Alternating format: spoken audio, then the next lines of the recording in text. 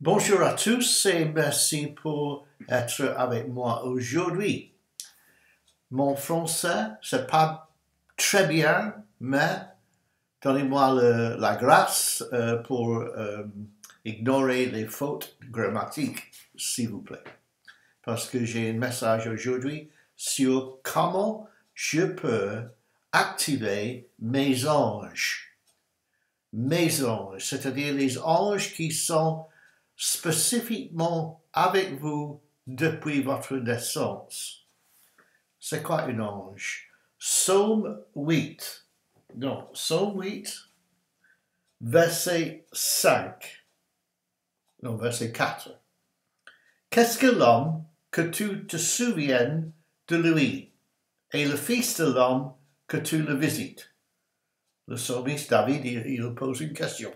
C'est quoi un homme? Verset 5. Tu l'as fait un peu inférieur aux anges et tu l'as couronné de gloire et de l'honneur. C'est-à-dire, Dieu, ange, homme, dans cet ordre. Non, c'est une mauvaise traduction. La traduction euh, dit que en anglais, ou en français quand même, dans le Darby et en anglais, les deux ont fait la même erreur. Les, Dieu a créé l'homme un peu inférieur à Elohim. Ça, c'est le mot en hébreu. Donc, c'est Elohim, Dieu, homme et ange. C'est-à-dire, les anges sont plus bas que nous dans l'ordre que Dieu a créé. Il nous a créés dans son image. Il n'a pas créé les anges dans son image. Les anges sont ses serviteurs. Nous, ce sont la famille de Dieu. OK.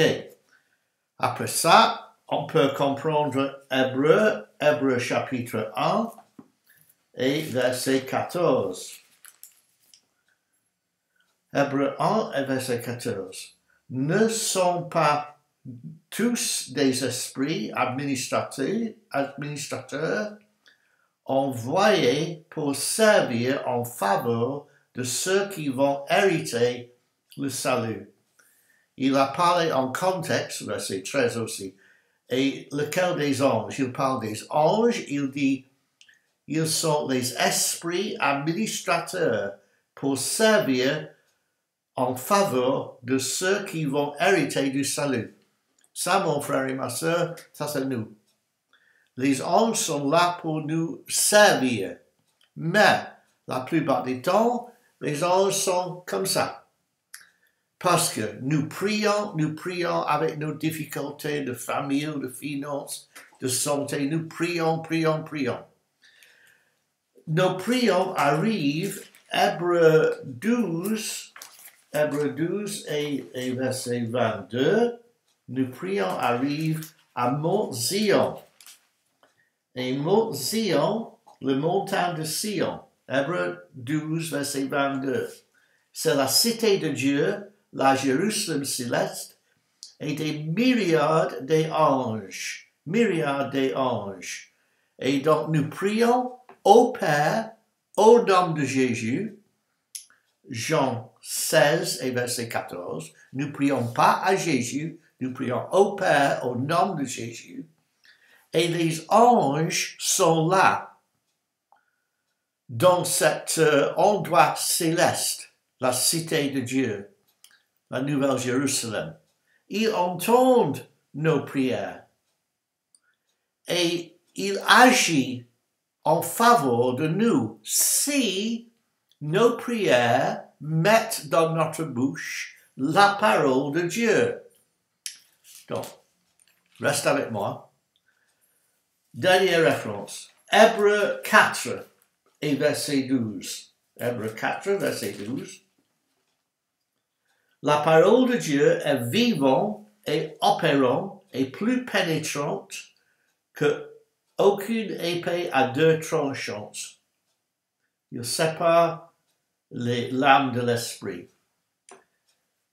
Le euh, auteur de Hébreu dit que la parole de Dieu, c'est comme une, épée. deux tranchantes. Oh, c'est une bonne idée, une bonne image spirituelle, mais c'est-à-dire quoi? C'est encore une fois une mauvaise traduction. Le mot double tranchante, c'est distamos. Et distamos dit la signification, c'est deux bouches. C'est-à-dire, Dieu, il a parlé sa parole, c'est écrit dans la Bible, et les anges attendent pour voir si nous disons la même chose.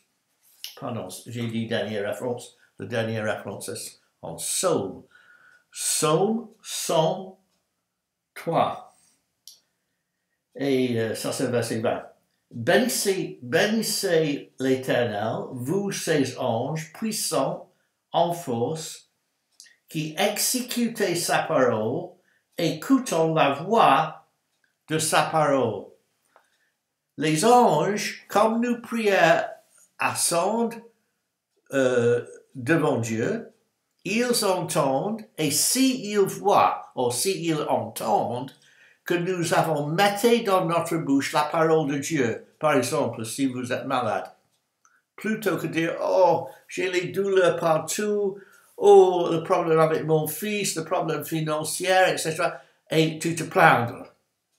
Plutôt que ça, mettre la parole de Dieu que Dieu t'a donnée, une, une parole spécifique sur le problème, on s'appelle ça une rhéma, Mettre la parole de Dieu que Dieu t'a donnée dans votre bouche.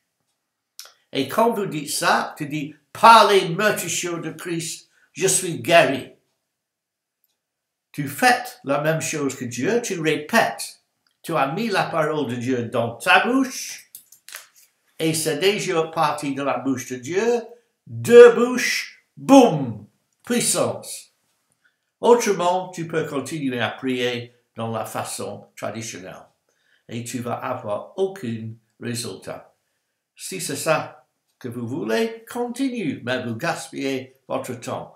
Les anges sont là, mais vous avez besoin d'activer vos anges par mettre la parole de Dieu dans votre bouche, ainsi que dans la bouche de Dieu, c'est déjà dans la bouche de Dieu parce qu'il a déjà dit ça pour être écrit dans la Bible. Ok, étudiez les références et je te vois la prochaine fois et je te bénisse.